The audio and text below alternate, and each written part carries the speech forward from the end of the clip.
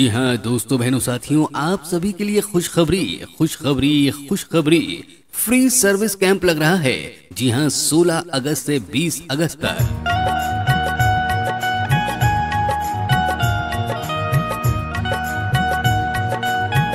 जी हाँ दीपक auto parts एवं Divyam plastic Shikohabad road, Bapu Nagar के सामने। फ्री सर्विस कैंप लगने जा रहा है।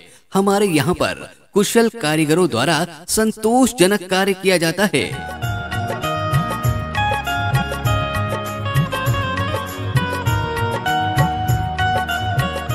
जी हाँ हमारे यहाँ मोटरसाइकिल के, प्लास्टिक के सभी प्रकार के पार्ट्स दिल्ली के थोक रेट पर उपलब्ध हैं। अच्छा काम, मुनासिब दाम। जी हाँ फ्री सर्विस कैंप में आइए। आइए आइए दीपक ऑटो पार्ट्स एवं दिव्यम प्लास्टिक पर।